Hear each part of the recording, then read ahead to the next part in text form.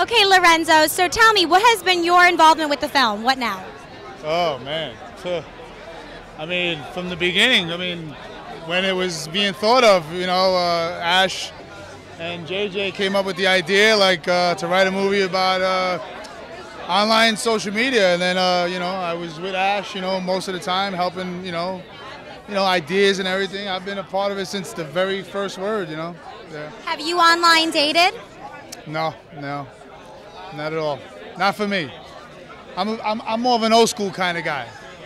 Yeah. I like that. So, if you were to online date, what is something about a woman's profile that catches your eye initially? Well, a woman's profile will have to be something that's of class. You know, nothing like like, hey, look at me. Eh, you know. Gross. You're old school. You want a woman who's respectful. I like women, not not girls.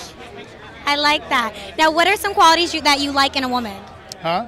What are some qualities that you like in a woman?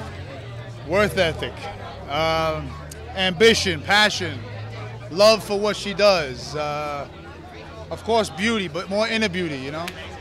And Lorenzo, are there any deal breakers in a relationship? Uh, deal breakers. Uh, I mean, you know, not nothing but the obvious, you know. But you know, I'm an easygoing guy. And if this movie can have one impact on the dating scene, not only in LA but the rest of the world, what would that be?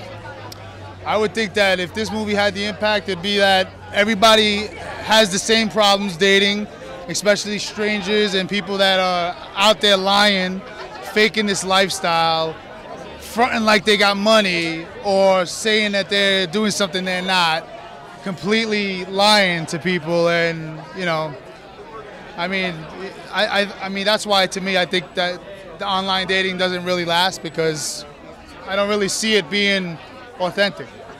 And I agree with you. I mean, you, you Like, oh wow, she's hot. Oh, he's hot. Let's bang. Like, come on.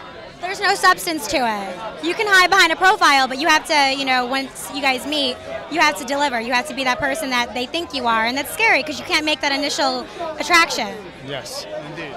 Well, thank you, Lorenzo. I look forward to seeing the movie, and I love the message. Take care. Thank you. You too. Have a good night.